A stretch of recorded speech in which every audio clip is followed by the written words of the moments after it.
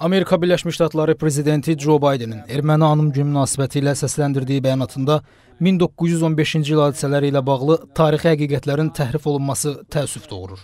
Bu barədə Xarici İşlər Nazirliyinin Mətbuat Xidməti İdarəsi məlumat yayıb. Qondarma erməni soyqırımı mövzusunu siyasiləşdirərək gündəmə gətirənlər həmin dövrdə erməni silahlı dəstələri tərəfindən 500 mindən artıq insanın kütləvi öldürülməsi halları, habelə erməni daşnaqlarının 1918-ci ilin martında Bakıda və Azərbaycanın digər regionlarında törətdikləri kütləvi qırğınlara münasibətdə susqunluq nümayiş etdirir. 100 il bundan öncə baş verən hadisələr yanlış şəkildə təqdim edilərkən, 30 il bundan öncə Ermənistan tərəfindən Xocalıda Azərbaycanlılara qarşı törədilən soyqırımına hələ də ədalətli qiymətin verilməməsi qərəzlilik və ikili standart nümunəsidir. 1915-ci il hadisələri siyasətçilər deyil, tarixçilər tərəfindən araşdırılmalıdır.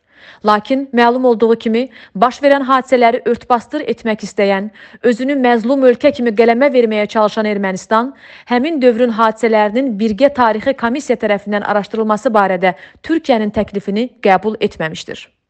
Tarixin saxtalaşdırılması, tarixin yenidən yazılması cəhdləri və onun siyasi təzyiq məqsədi ilə istifadə edilməsi qəbul edilməzdir.